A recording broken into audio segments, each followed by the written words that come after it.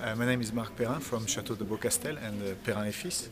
Uh, we are today in London for a tasting of the 09 vintage. Although it's still very early, we, uh, we wanted to, uh, to present the vintage to the, uh, the UK uh, customers. So uh, 09 will be, I think, a great, great vintage. The wine are, are maturing slowly in our cellars. It's a vintage that we combine, in my opinion, a great uh, flesh, a great balance, and tannins which are extremely uh, uh, present but very nice, very soft. So it's uh, for me certainly a great classic vintage, great aging potential, but very approachable quite early. Uh, so I'm, I'm quite happy with that uh, that vintage actually. And tell me what um, uh, your your company, your family company, is, is, is doing in the southern Rhone at the moment. Yes, so we, we, my family owns Chateau de Beaucastel since 1909, and uh, you know that we have developed uh, a passion for the southern Rhone area. And so a few years ago we started the, uh, the Perrin et Fils uh, operation, and uh, we have gradually purchased a lot of vineyards in, in all the southern Rhone valley. And um, uh, what we want to become with Perrin et Fils is really to become the uh, southern Rhone specialist, but not as a negotiant, uh, as an estate owner. So we own est- estates now in Gigondas, we own estates in Côte-du-Rhône, in Vinsobres, in Cairanne, and so on. And what are the main differences between the northern and southern Rhone, in your opinion, Marc? Well, we, are totally different areas. It's true that people think of the Rhone Valley as one main, one thing, but it's uh, actually two worlds. The soil are different because the northern Rhone is mostly about uh, granitic soils and slopes. The southern Rhone is mo- mostly limestone, clay, sand on, on plateau.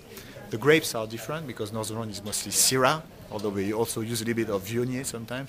Uh, uh, southern Rhone is mostly Grenache and Mourvèdre. Uh, uh, northern Rhone is monovarietal, to make a long story short. Southern Rhone is blending, Châteauneuf-du-Pape being the, uh, the, uh, the best example of it.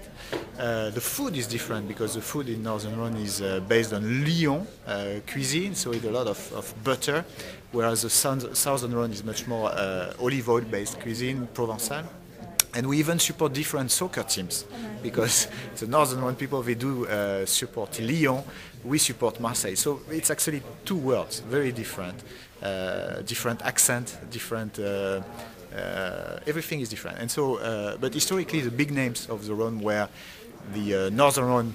Uh, big names which, which came to the south. Uh, we have decided with Perrin to really become, to try to become the southern specialist, but being based not on a negotiation business, on, on an estate business. So we own vineyards in all of the southern uh, best places. We bring all the grapes to our uh, Perrin et Fils winery, uh, located in Orange, and then we do all the winemaking there ourselves, as we do all the viticulture ourselves with the same team as we do in Beaucastel. And so it's, uh, it's uh, something which is uh, quite young because we started it about 10 years ago, but it's really developing very well.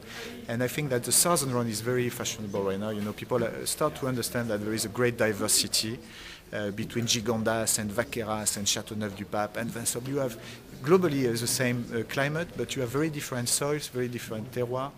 And, and by doing all the viticulture and all the wines ourselves, we really try to express the diversity of all, all this terroir. And I think it's a fascinating playground between Gigondas and Vacqueyras. You know, there will be uh, five kilometers, the same grapes, the same viticulture made by the same people, the same winemaking made by us, but the wine will be totally different, and that's really what terroir is about. So I encourage your readers to taste the differences uh, uh, from one producer who does uh, the viticulture and the winemaking, and, and from Perrin. Uh, that's great. Thank you very much, Marc. Thank you.